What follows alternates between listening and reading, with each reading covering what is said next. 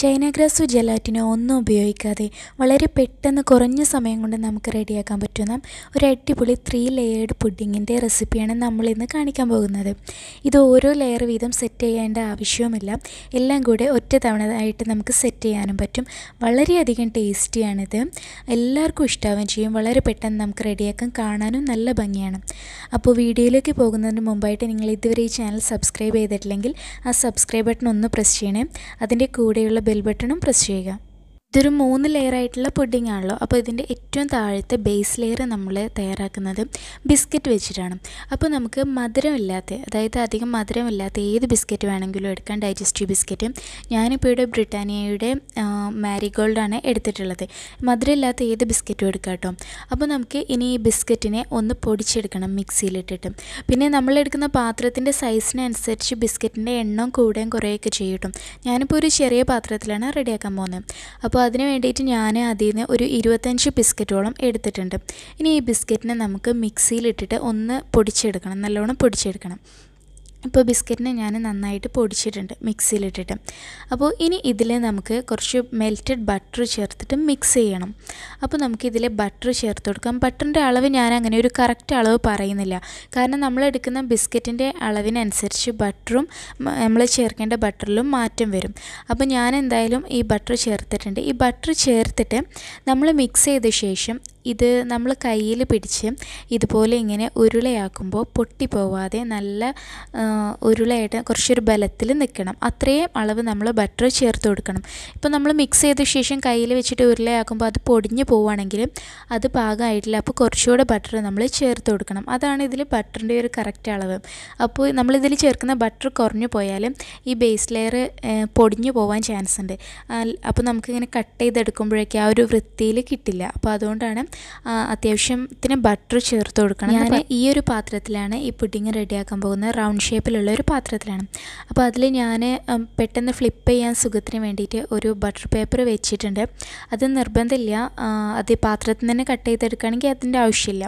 ഞാൻ പെട്ടെന്ന് ഫ്ലിപ്പ് ചെയ്യാൻ സുഖത്തിന് വേണ്ടിയിട്ടാണ് വെച്ചിട്ടുള്ളത്. എന്നിട്ട് നമുക്ക് നമ്മൾ റെഡിയാക്കിയ ബിസ്ക്കറ്റും ബട്ടറും കൂടിയുള്ള മിക്സിലും അത് ഇതിന്റെ താഴെ കംപ്ലീറ്റ് ഇട്ട് കൊടുത്തിട്ട് നന്നായിട്ട് പരത്തി കൊടുക്കുക. പരത്തുക മീൻസ് ആ പാത്രത്തിന്റെ എല്ലാ ഭാഗത്തും ഒരുപോലെ ആക്കുക. എന്നിട്ട് നല്ലോണം പ്രസ് ചെയ്ത് കൊടുക്കാം നമ്മൾ സ്പൂൺ വെച്ചിട്ട് തന്നെ നന്നായിട്ട് പ്രസ് ചെയ്ത് കൊടുക്കണം. അപ്പോൾ നമ്മൾ ഇങ്ങനെ നന്നായിട്ട് പ്രസ് ചെയ്താലേ അത് സെറ്റായി വരുമ്പോൾ ഇപ്പോൾ ഞാനിപ്പോൾ ഒരു കേക്ക് ഷേപ്പിൽ കേക്ക് നല്ല റൗണ്ട് ഷേപ്പിൽ ഇത് ഫ്ലിപ്പ് ചെയ്തിട്ട് ഒരു കേക്ക് പോലെ എടുക്കാനാണ്. അപ്പോൾ കട്ട് ചെയ്തെടുക്കണമല്ലോ നമുക്ക്. അപ്പോഴേക്കും നല്ല രീതിയിൽ നമുക്ക് കിട്ടണമെങ്കിൽ നമ്മൾ ഇപ്പോൾ ഇത് നന്നായിട്ട് പ്രസ് ചെയ്ത് കൊടുക്കണം. സ്പൂൺ വെച്ചിട്ട് തന്നെ പ്രസ് ചെയ്താൽ മതിയാവും. അപ്പോൾ എല്ലാ ഭാഗത്തും സൈഡിലും എല്ലാം ഒരുപോലെ നമ്മൾ നന്നായിട്ട് പ്രസ് ചെയ്ത് കൊടുക്കുക. എന്നിട്ട് നമുക്ക് ഇതിനെ മാറ്റി വെക്കാം നമുക്ക് അടുത്ത ലെയർ ഉണ്ടാക്കാൻ നോക്കാം. ഇനി സെക്കൻഡ് ലെയർ നമ്മൾ തയ്യാറാക്കാൻ പോകുന്നത് പാൽ ഉപയോഗിച്ചിട്ടാണ്. അപ്പോൾ അതിന് വേണ്ടിയിട്ട് ഞാൻ രണ്ട് കപ്പ് പാൽ പാലെടുക്കുന്നുണ്ട് അപ്പോൾ നമ്മൾ ഫ്ലെയിം ഓൺ ചെയ്യേണ്ട കേട്ടോ ഫ്ലെയിം ഓൺ ചെയ്യാതെയാണ് ഞാൻ ഈ പാത്രത്തിലേക്ക് പാൽ ഒഴിക്കുന്നത്. എന്നിട്ട് രണ്ട് കപ്പ് പാലിലേക്ക് അര കപ്പ് പഞ്ചസാര. അര കപ്പ് പഞ്ചസാരയും ചേർത്ത് കൊടുത്തു. പിന്നെ നമ്മൾ ഈ പാൽ തിക്കാവാൻ വേണ്ടിയിട്ട് മൂന്ന് ടേബിൾ സ്പൂൺ കോൺഫ്ലവർ എടുത്തിട്ടുണ്ട്. ഈ മൂന്ന് ടേബിൾ സ്പൂൺ കോൺഫ്ലവറിന് കുറച്ച് വെള്ളം ചേർത്തിട്ട് ഒന്ന് മിക്സ് ചെയ്യുക. കുറച്ച് വെള്ളം ചേർത്ത് മിക്സ് ചെയ്തെടുത്തിട്ട് അതും നമ്മൾ ഈ പാലിലേക്ക് ഒഴിച്ചു കൊടുക്കണം. അപ്പോൾ നമ്മൾ ചൈന ഗ്രാസിന് പകരം ഇവിടെ കോൺഫ്ലവറാണ് യൂസ് ചെയ്യുന്നത്. ഇത് വെച്ചിട്ട് തന്നെ പാൽ നന്നായിട്ട് സെറ്റായി കിട്ടും. പിന്നെ ഒരു ടേസ്റ്റിന് വേണ്ടിയിട്ട് ഞാൻ കുറച്ച് വാനില എസൻസ് ചേർത്ത് കൊടുക്കുന്നുണ്ട്. ഇത് നിർബന്ധമില്ല കേട്ടോ. ഓപ്ഷനിലാണ് ഇഷ്ടമുണ്ടെങ്കിൽ ചേർത്താൽ മതി. അപ്പോൾ ഇനി നമുക്ക് ഫ്ലെയിം ഓൺ ചെയ്യാം. ഇതെല്ലാം കൂടി ചേർത്ത് ഒന്ന് മിക്സ് ചെയ്തതിന് ശേഷം നമുക്ക് ഫ്ലെയിം ഓൺ ചെയ്യാം. അപ്പോൾ ഫ്ലെയിം ഓൺ ചെയ്തിട്ട് ആദ്യം ഒരു മീഡിയം ഫ്ലെയിമിലിടാം എന്നിട്ട് പാലൊന്ന് ചെറുതായി ചൂടായി വരുമ്പോൾ പാൽ തിളക്കരുത് കേട്ടോ പാലൊന്ന് ചെറുതായി ചൂടായി വരുമ്പോൾ നമ്മൾ നന്നായിട്ട് ലോ ഫ്ലെയിമിലേക്ക് ഇടാം. തീ നല്ലോണം കുറച്ച് വെച്ചിട്ട് എന്നിട്ട് നിർത്താതെ ഇളക്കി കൊടുക്കുക. ഇളക്കിയില്ലെങ്കിൽ ഇത് കട്ട പിടിക്കും.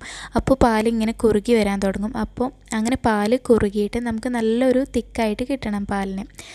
അത്യാവശ്യം നല്ലോണം തിക്കായിട്ട് കുറുകി വരണം. അപ്പോൾ അതുവരെ നമ്മൾ ഇളക്കി കൊടുക്കുക. പിന്നെ ഇളക്കുമ്പോൾ എപ്പോഴും ഒരേ മോഷനിൽ തന്നെ ഒരേ ഡയറക്ഷനിൽ തന്നെ ഇളക്കേണ്ട. കുറച്ച് മാറ്റിയിട്ടൊക്കെ ഇളക്കി കൊടുക്കുക. അല്ലെങ്കിൽ കട്ട പിടിക്കാനും ചാൻസ് ഉണ്ട് അടി പിടിക്കാനൊക്കെ ചാൻസ് ഉണ്ട്. അതുകൊണ്ട് പിന്നെ തീ നന്നായിട്ട് കുറച്ച് വെക്കണം. അത് പ്രത്യേകം ശ്രദ്ധിക്കണം കേട്ടോ. അപ്പോൾ ഇപ്പോൾ നമ്മുടെ പാൽ ഏകദേശം നന്നായിട്ട് തിക്കായി വരുന്നുണ്ട്.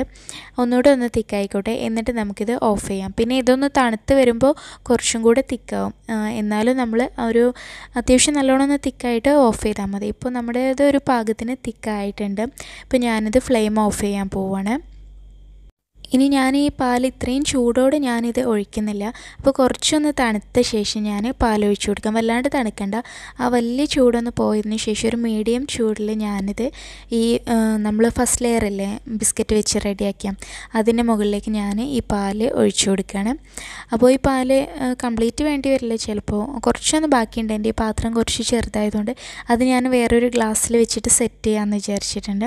അപ്പോൾ എന്തായാലും ഞാൻ ഈ പാൽ ഇതിന്റെ മുകളിലേക്ക് ഒഴിച്ചു കൊടുത്തു. ഇനി പാലിനെ നമ്മൾ നേരത്തെ ബിസ്ക്കറ്റിന് ചെയ്ത പോലെ തന്നെ നമ്മൾ സ്പൂൺ ഒരു കയ്യിലോ ഒക്കെ വെച്ചിട്ട് പതുക്കെ ഇങ്ങനെ ഒന്ന് സ്പ്രെഡ് ചെയ്ത് കൊടുക്കുക. അപ്പോൾ നമ്മൾ പാലിനെയും ഇതുപോലെ ചെയ്തിട്ട് ഇനി നമുക്ക് ഇതിനെ എടുത്തിട്ട് ഫ്രിഡ്ജിലേക്ക് വെക്കാം. അപ്പോൾ ഇത് ഈ ലെയർ സെറ്റ് ആവാൻ നമ്മൾ ഒരുപാട് സമയം വെക്കൊന്നും വേണ്ട. നമ്മൾ ഇതിന്റെ തേർഡ് ലെയർ ഉണ്ടാക്കുന്ന ആ ഒരു സമയം മതി. അത് ഉണ്ടാക്കി കഴിഞ്ഞാൽ നേരെ ഫ്രിഡ്ജിൽ നിന്ന് എടുത്തിട്ട് അത് ഇതിന്റെ മുകളിൽ ഒഴിച്ചു കൊടുക്കുകയും ചെയ്യും. അപ്പോൾ നമുക്ക് ഇതിനെ ഇപ്പോൾ ഒന്ന് ഫ്രിഡ്ജിൽ വെക്കാം. ഫ്രീസറിൽ വെക്കരുത് കേട്ടോ. താഴെ വെക്കാം. ഫ്രിഡ്ജിന്റെ താഴേക്ക് എടുത്ത് വെക്കാം. എന്നിട്ട് നമുക്ക് തേർഡ് ലെയർ ഉണ്ടാക്കാൻ തുടങ്ങാം. അപ്പോൾ തേർഡ് ലെയർ ഞാൻ ഉണ്ടാക്കുന്നത് ജെല്ലി യൂസ് ചെയ്തിട്ടാണ്. ഞാനിത് ഫോസ്റ്റർ ക്ലാക്സിന്റെ ജെല്ലിയാണ് ഇവിടെ യൂസ് ചെയ്യുന്നത്. ജെല്ലി പൗഡറാണ്. സ്ട്രോബെറി ഫ്ലേവറാണ് ഞാൻ എടുത്തിട്ടുള്ളത്. നമുക്ക് ഇഷ്ടമുള്ള ഫ്ലേവർ എടുക്കാം. പക്ഷേ ഒരുപാട് അങ്ങ് പുളിയുള്ള ഫ്ലേവർ ലെമണിന്റെ ഒന്നും എടുക്കരുത് കേട്ടോ അതൊരു കോമ്പിനേഷൻ ഉണ്ടാവില്ല ഇതിലേക്കും ഓറഞ്ച് അതുപോലെ സ്ട്രോബെറി ഒക്കെ നമുക്കിതിന് വേണ്ടിയിട്ട് യൂസ് ചെയ്യാം. ഈ ജെല്ലിയുടെ പൗഡർ യൂസ് ചെയ്ത് ജെല്ലി എങ്ങനെ പ്രിപ്പയർ ചെയ്യേണ്ടതെന്ന് ബോക്സിൽ തന്നെ എഴുതിയിട്ടുണ്ടാവും. അപ്പോൾ ഇതിൽ എഴുതിയിരിക്കുന്നത് ഒരു കപ്പ് ചൂടുള്ള വെള്ളത്തിൽ ഇത് മിക്സ് ചെയ്യുക. എന്നിട്ട് അതിലേക്ക് ഒരു കപ്പ് തണുത്ത വെള്ളം കൂടി ചേർത്ത് കൊടുക്കാമെന്നാണ് അപ്പോൾ നമുക്ക് അതുപോലെ ഇതൊന്ന് റെഡിയാക്കാം. ജെല്ലി പൗഡർ ഞാനൊരു ബൗളിലേക്ക് എടുത്തിട്ടുണ്ട്. അപ്പോൾ ഇതിന് വലിയ വിലയില്ല കേട്ടോ. ഞാനിപ്പോൾ ഇത് ഒന്നര ദ്രംസ് എങ്ങാണ്ടേ ഉള്ളൂ. അത്രയേ ഉള്ളൂ. അതിനാണ് ഞാനിത് വാങ്ങിച്ചത്. അപ്പോൾ നമുക്ക് ഈ ജെല്ലി പൗഡറിലേക്ക് ഇനി അതിൽ അതിലെഴുതിയിട്ടുള്ള പോലെ തന്നെ ആദ്യം ഞാൻ ഒരു കപ്പ് ചൂടുള്ള വെള്ളം ചേർത്ത് കൊടുക്കുന്നുണ്ട്. എന്നിട്ട് ഈ ചൂടുള്ള വെള്ളത്തിൽ ഇതൊന്ന് മിക്സ് ചെയ്യുക. അതിന് ശേഷം നമുക്ക് തണുത്ത വെള്ളം ചേർത്ത് കൊടുക്കാം. തണുത്ത വെള്ളം എന്ന് പറയുമ്പോൾ നമ്മുടെ നോർമൽ ടെമ്പറേച്ചറിലുള്ള വെള്ളം ചേർത്താൽ മതി കേട്ടോ. അപ്പോൾ ഇതിപ്പോൾ ഞാൻ നന്നായിട്ട് മിക്സ് ചെയ്തിട്ടുണ്ട് ചൂടുള്ള വെള്ളത്തിൽ. ഇനി നമുക്ക് ഒരു കപ്പ് നോർമൽ ടെമ്പറേച്ചറിൽ സാധാരണ വെള്ളം നമുക്ക് ചേർത്ത് കൊടുക്കാം. എന്നിട്ട് ഒന്നുകൂടെ ഒന്ന് മിക്സ് ചെയ്യുക ഇപ്പോൾ നമ്മുടെ ജെല്ലി ജെല്ലി റെഡി ആയിട്ടുണ്ട്. ജെല്ലി അല്ല ജെല്ലിയുടെ മിക്സ് റെഡി ആയിട്ടുണ്ട്. ഇനി നമ്മൾ നേരത്തെ ഫ്രിഡ്ജിൽ വെച്ച ആ പാലും ബിസ്ക്കറ്റുള്ള മിക്സ് നമ്മൾ എടുക്കുക. എന്നിട്ട് ഈ ജെല്ലിയുടെ മിക്സ് അതിന്റെ മുകളിലേക്ക് ഒഴിച്ചു കൊടുക്കാം. അപ്പോൾ പാൽ ഒരുപാട് സെറ്റ് ആവുമെന്ന് വേണ്ട. ഇത് രണ്ടും കൂടെ മിക്സ് ആവില്ല. കാരണം ഇത് രണ്ടിന്റെ കൺസിസ്റ്റൻസി നല്ല വ്യത്യാസമുണ്ട്. അതുകൊണ്ട് ഇത് രണ്ടും എന്തായാലും മിക്സ് ആവില്ല. ധൈര്യമായിട്ട് നമുക്ക് ഒഴിച്ചു കൊടുക്കാം. അപ്പോൾ ജെല്ലി നമ്മൾ നമുക്ക് എത്ര തിക്നെസ്സിലാണോ ആവശ്യമുള്ളത് അത്രയും നമ്മൾ ഒഴിച്ചു കൊടുക്കുക. ആ ഒരു തിക്നെസ്സിന് അനുസരിച്ചിട്ട് നമ്മൾ ഒഴിച്ചു കൊടുക്കണത്. ഈ ജെല്ലിയും കൂടെ ഒഴിച്ച ശേഷം നമുക്കിത് ഫ്രിഡ്ജിലേക്ക് എടുത്ത് വെക്കാം. ഫ്രിഡ്ജിലേക്ക് എടുത്തു വെക്കുമ്പോൾ കവർ ചെയ്തിട്ട് വെക്കാൻ പ്രത്യേകം ശ്രദ്ധിക്കട്ടോ കേട്ടോ അപ്പോൾ ഇനി നമുക്കിത് ഫ്രിഡ്ജിൽ ഇരുന്നിട്ട് ഒന്ന് സെറ്റ് ആവണം. അപ്പോൾ ഇത് സെറ്റ് ആവാൻ ഏകദേശം ഒരു രണ്ട് മണിക്കൂർ. മാക്സിമം രണ്ട് മണിക്കൂർ അതിനുള്ളിൽ തന്നെ സെറ്റ് ആവും. കാരണം ജെല്ലി ജെല്ലിയുടെ ലെയർ ഒന്ന് സെറ്റ് ആവാനുണ്ടല്ലോ വേണമെങ്കിൽ നമുക്ക് ഇടയ്ക്ക് തൊട്ട് നോക്കിയാൽ മതി. അപ്പോൾ അറിയാൻ പറ്റും. അപ്പോൾ പെട്ടെന്ന് നമുക്ക് റെഡിയാക്കാൻ പറ്റും ഇത്. ഞാനിപ്പോൾ അതിന്റെ ബാക്കിയുള്ളത് ആ പാത്രത്തിൽ കൊള്ളാതെ ബാക്കിയുള്ളത് ഞാനൊരു ഗ്ലാസ്സിലേക്ക് കൂടെ ഒഴിച്ചിട്ട് സെറ്റ് ആവാൻ വെച്ചതായിരുന്നു അത്. അപ്പോൾ ഞാനിത് ഒരു പ്ലേറ്റിലേക്ക് ഫ്ലിപ്പ് ചെയ്തിട്ടുണ്ട്. അങ്ങനെ ഫ്ലിപ്പ് ചെയ്യണം നിർബന്ധമല്ല. നമുക്ക് ആ പാത്രത്തിൽ തന്നെ കട്ട് ചെയ്തെടുക്കാം. ഞാൻ ഫോട്ടോയിൽ ഒരു ഭംഗിക്ക് വേണ്ടിയിട്ട് ചെയ്തതാണ്. പിന്നെ മുകളിൽ കുറച്ച് മുത്തൊക്കെ ഇട്ട് കൊടുത്ത് ഒന്ന് ഡെക്കറേറ്റ് ചെയ്തിട്ടുണ്ട്. അപ്പോൾ നമുക്ക് ഇതിനെ ഒന്ന് കട്ട് ചെയ്തെടുത്ത് നോക്കാം. ഇങ്ങനെ ആകുമ്പോൾ കട്ട് ചെയ്യാൻ ഒന്നുകൂടെ സുഖമായിരിക്കും. നമ്മൾ പ്ലേറ്റിലേക്കൊക്കെ ഒന്ന് ഫ്ലിപ്പ് ചെയ്താൽ അപ്പോൾ നമ്മൾ തല തിരിച്ചിട്ട് നമുക്കിത് ഫ്ലിപ്പ് ചെയ്യാൻ പറ്റില്ല. അതുകൊണ്ടാണ് ഞാൻ ബട്ടർ പേപ്പർ വെച്ചത്. ഇത് നമ്മൾ കട്ട് ചെയ്തെടുക്കുമ്പോൾ ഇതുപോലെ നല്ല അടിപൊളിയായിട്ട് നമുക്ക് കിട്ടും. നല്ല ടേസ്റ്റിയാണത്. എല്ലാവരും എന്തായാലും ട്രൈ ചെയ്ത് നോക്കാം എല്ലാവർക്കും ഇഷ്ടമാവും നമുക്ക് പെട്ടെന്ന് റെഡിയാക്കാനും പറ്റും. ഓരോ ലെയർ വീതം സെറ്റ് ചെയ്യാൻ വെക്കേണ്ട ആവശ്യമൊന്നുമില്ല. അപ്പോൾ വീഡിയോ ഇഷ്ടമായെങ്കിൽ ലൈക്ക് ചെയ്യുക ഷെയർ ചെയ്യുക കമന്റ് ചെയ്യാം മറ്റൊരു വീഡിയോയിലൂടെ നമുക്ക് വീണ്ടും കാണാം.